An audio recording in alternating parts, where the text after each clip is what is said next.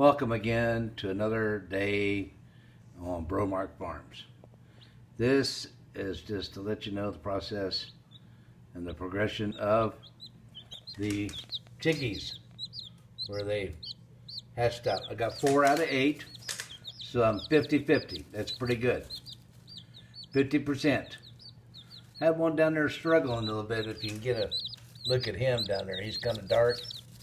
He dug him out this morning. He was wrapped up in his shell. And uh, they ain't picked on him or anything, but he might come out pretty good. The others, you know, that have been sitting in here for a couple days.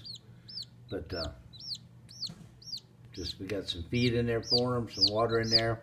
So some wood chips down in there this morning for them. And uh, there's where we are with what we're doing. We've hatched them out. And uh, that's what we got. Hatched them out in the incubator. So uh, we put eight in and got four out. So that's pretty good. So I figure if I put 20 in there, I'll get 10. But I think the next time I got a I got one of them uh, candlers, or you know one of the little lights that you put underneath them, what they call candling. It says uh, seven days after you put them in the incubator, you check and uh, weed them out, call them out, get rid of the ones that ain't got no veins or any kind of sign of life in them. So I think that's the way I'll do it the next time. That way I'll get 100%. But uh, these, to me, they look like a mixture between my. Uh, I got a rooster that's a Rhode Island Red and a Leghorn mixed. So uh, these two right here that I'm looking at right here, uh, see if I can point them out. These two right here, they look like uh, my. Um, Leghorn and Rhode Island Red Rooster mixed with an old Jersey Giant I had.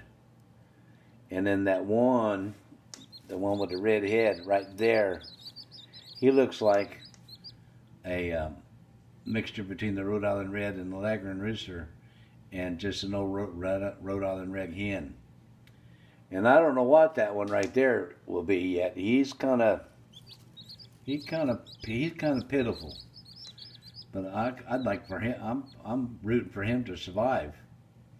He looks kind of all matted up, don't he? Kind of dirty. He had the shell stuck on him like an old turtle shell. He just couldn't shed that for a couple days. So we, uh, I broke it off of him this morning. Thought I'd free him up and throw him with these others. But he looks like he's got a Liberace jacket on. I don't know what his deal is. He's all matted up still. So we'll see what happens. But uh, I just wanted to uh, let you know where we're at. Stopping in. And uh, we're giving a try at incubating babies. My uh, chicken population down to 10 hens and uh, one rooster. I took a real hurting uh, this spring for some reason. I had a Wyandotte rooster and uh, I had a, a, Barred Rock in there, and had a Jersey Giant, and uh, boy, something's got in there just in the past month. Just destroyed and took. I think it's raccoons.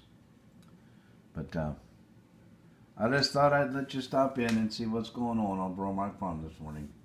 Thank you so much for stopping in. Subscribe and uh, watch how we learn. And uh, let us make the mistakes that you don't make. Let us make the mistakes for you. That way you can learn from what we're doing. We're just, uh, I'm just, uh, ain't got no money, but I'm having fun trying to edit and film. So, thank you so much for stopping in. Goodbye.